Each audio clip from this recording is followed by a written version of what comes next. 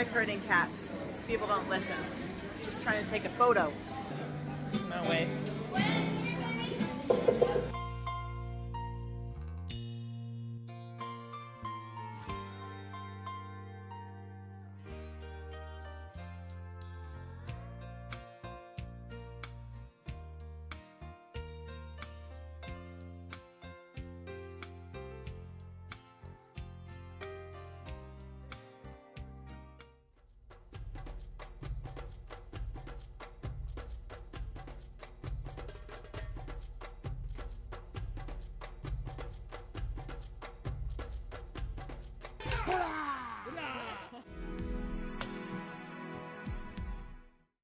Going to get our passports.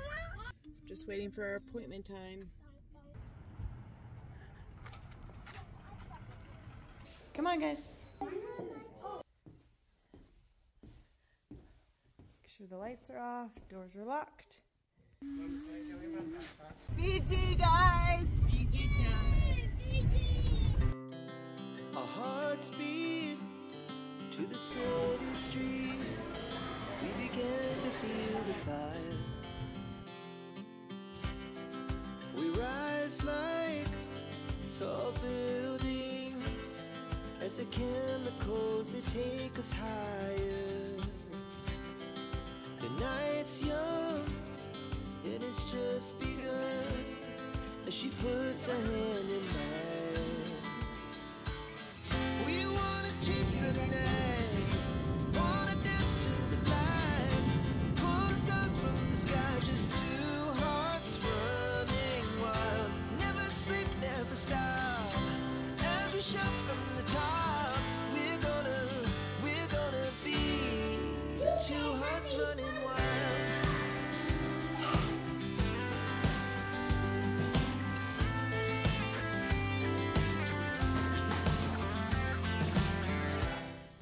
Hello, my friends. I'm Danielle, and this is Hogan Life. It isn't every day we do a trip this big. In fact, the last one was six years ago, and I had fewer children. But this is our Fiji adventure. I hope you enjoy it.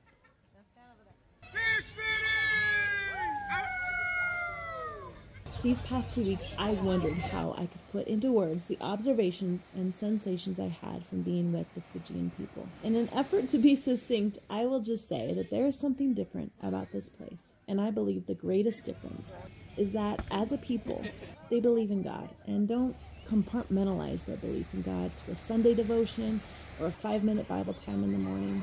They would no more withdraw from conversation about God at their own jobs than they would in their own homes. It doesn't seem contrived or forced. It's just an effortless inclusion of God in their everyday existence. This reality impacted me greatly. I spoke to a woman serving food by the pool and asked if she ever stopped being amazed by the beauty. She said, Never. I am always grateful. Even for the rain, I am grateful.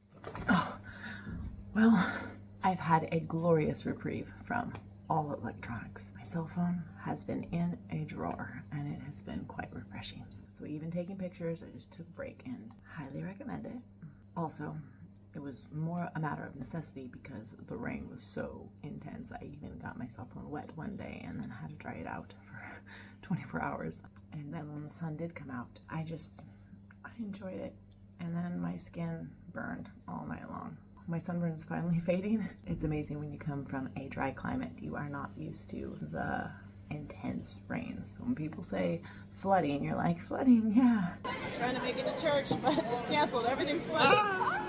I have very high expectations when it comes to a family vacation. So I have to really narrow them down and pinpoint what it is I'm looking for. And what I'm looking for is moments together free of the distractions that are so plaguing in our culture devices, cell phones, quickness to respond to any little thing that comes through with a beep or a buzz, activities, even little things like going to the grocery mart together, We had the best day kayaking. My kids and I kayaking yesterday it was so fun. I loved it, but my arms are sore. There's something so profoundly special about traveling with my sisters because of all the cousins. Well, also my sisters are so special to me, but all the cousins they play so well together and they just they they build memories just by having their adventures and it's amazing. I love to be part of that. It's such a very free and safe place. That's what I do love about Fiji is it feels safe. Simple things like jogging down the street by myself. Feel safe.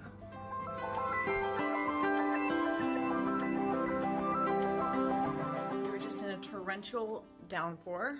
All right, I want you to see this. Chris went spear fishing. Now we're going to cook up what he caught. If you're wondering what we eat while we're here, we are eating a lot of avocados. We don't eat out a lot, barely at all. So we find what is authentic to the area and we buy that stuff. We buy pineapples and bananas, avocados, we got cucumbers, lots of bread and butter. Butter is so good. Milk. Now we're doing some chicken and then we're gonna eat up that fish.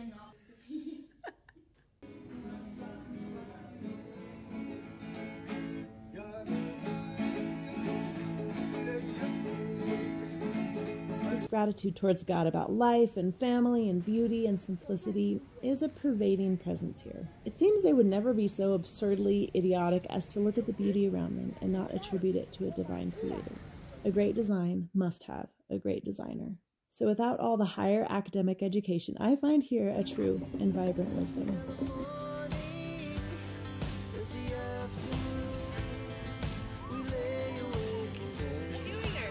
morning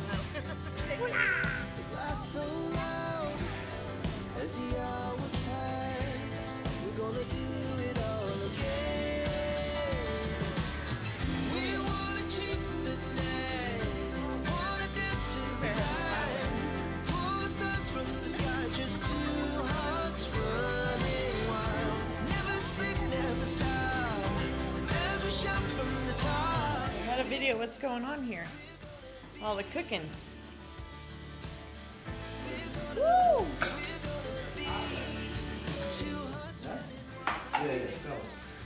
Get rid of this, get rid of the hairy, make it smooth.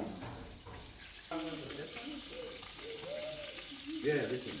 But not this one. All right, so here is the remnants of our feast.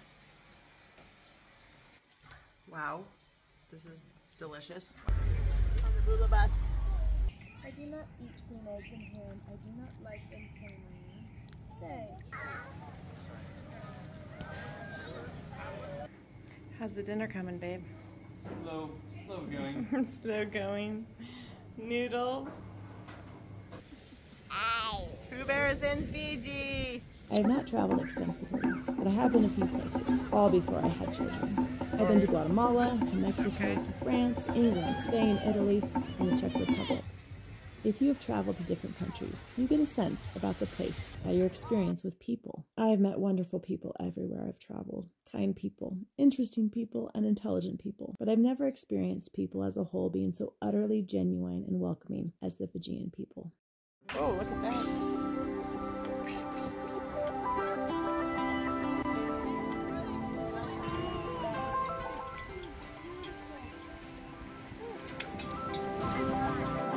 The South Sea Islands. Take two. It's a beautiful day. But we do enjoy all the resort traditions and the culture of the people they bring in. The fun performances, the fire dances, the twilight torch lighting, and of course the poolside bingo. Here we are. Oh, I forgot my hat. We actually make friends here. We go to the local church, take the public buses, go to the marketplaces.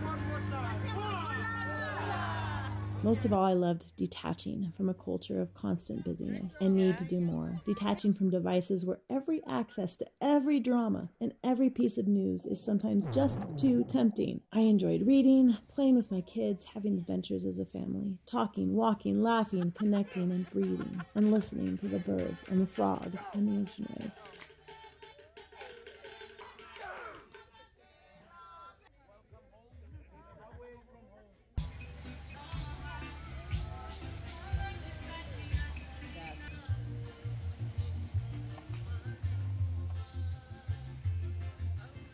Guys the funnest time today?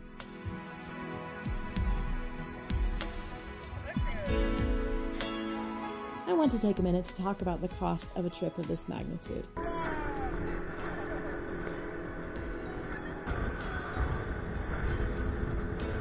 I am always curious when I see travel vlogs how much a family would have to save to see different parts of the world. A trip of this nature for a family of nine seems like it would be too costly and therefore just not doable. So let me break it down a little bit.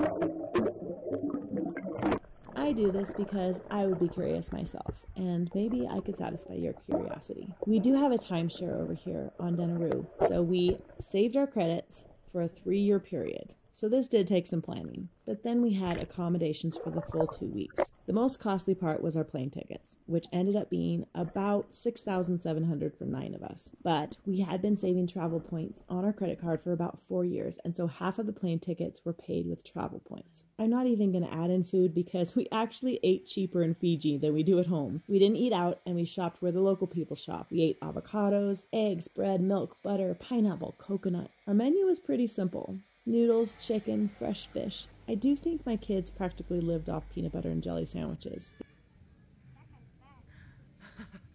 Wow, you are really good. I there was one over here. The four oldest kids saved money over the last few months to put towards small trips. So they did a snorkeling adventure with their dad, and they also went and saw a rugby game, and they paid for it themselves. The transportation was another cost. The local transportation was pretty cheap, just a couple dollars.